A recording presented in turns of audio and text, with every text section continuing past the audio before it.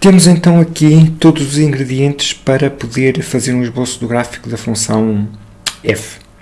Então, como é que fazemos esse esboço? Uh, traçamos uh, um eixo, supostamente o eixo dos x, uh, marcamos nesse eixo os pontos críticos e o ponto em que a segunda derivada é zero e que origina uma mudança de concavidade.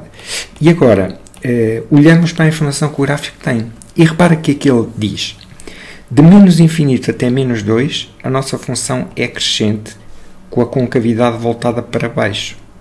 Então, de menos infinito a menos 2, a função é crescente com a concavidade voltada para baixo e o pedaço de gráfico é este que aqui está. Depois, de menos 2 até menos 1 meio, a função decresce com o gráfico voltado para baixo. É o que isto aqui diz. Portanto, de menos 2 até menos 1 meio, nós uh, olhamos para os intervalos definidos aqui por estes, uh, por estes pontos. Primeiro uh, encaramos o intervalo menos infinito a menos 2, depois vamos ver o intervalo menos 2 a menos 1 meio, depois menos 1 meio até 1, depois 1 até mais infinito. Okay? Para levarmos connosco esta informação toda. Portanto, de menos 2, de menos infinito até menos 2 foi isto que a gente viu. Agora, de menos 2 até menos 1 meio, a função decresce porque está no alcance desta seta e a concavidade é voltada para baixo porque esta orientação dura, uh, vai até ao ponto menos 1 meio. Ora, a função de crescer com a concavidade voltada para baixo até menos 1 meio faz isto. Depois, a partir de menos 1 meio, portanto, no intervalo de menos 1 meio até uh, uh, mais 1, neste intervalo, a função continua a decrescer, mas agora a concavidade já é voltada para cima. Portanto, se observares aqui na nossa figura, à direita, a função de menos 1 meio até 1, ela continua a decrescer, mas a concavidade já é orientada para cima, ao contrário do que aconteceu aqui.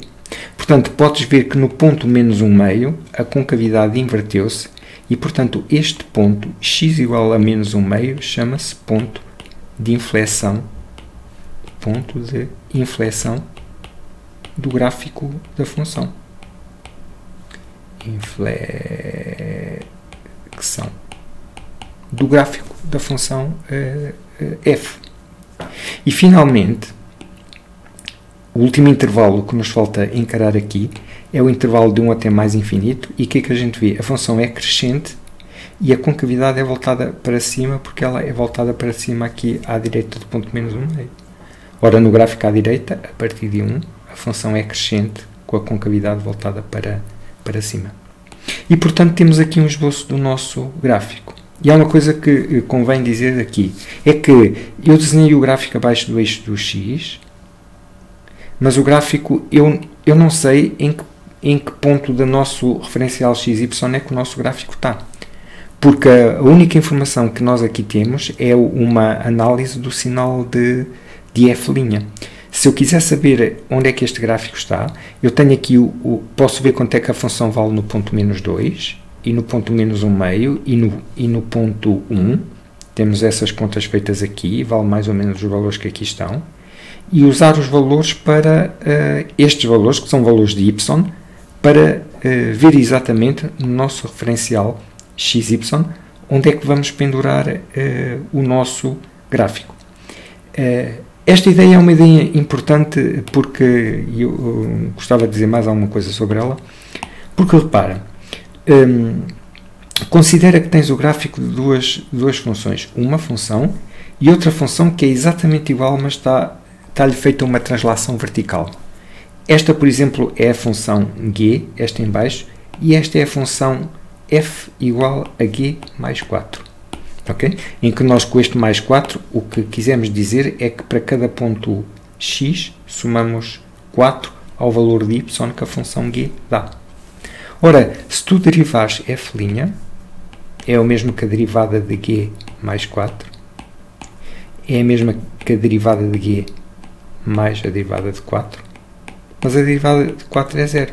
Portanto, a derivada da função f' é a mesma que a derivada da função g'. E isso significa o seguinte: eu escolho um ponto qualquer x, traço uma tangente a este gráfico e a tangente tem, é paralela à tangente que eu traço ao gráfico embaixo no mesmo ponto. Portanto, a derivada ela não se importa em que, em que eh, para onde é que a nossa função é arrastada verticalmente. Ela mede apenas variações da nossa função eh, f. E repara que nós, neste quadro aqui, só estamos a lidar com f' e com f duas linhas.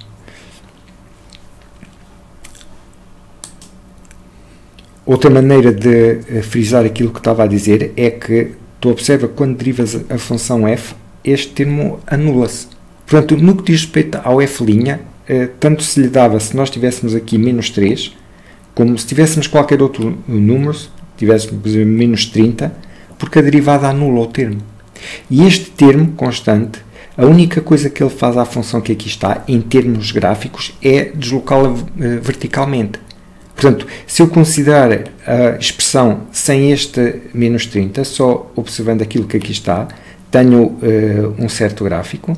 Se agora contabilizar o menos 30, eu tenho esse gráfico 30 unidades abaixo.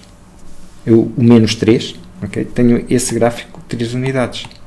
Mas em cada ponto, a tangente à curva é exatamente a mesma, a derivada é exatamente a mesma.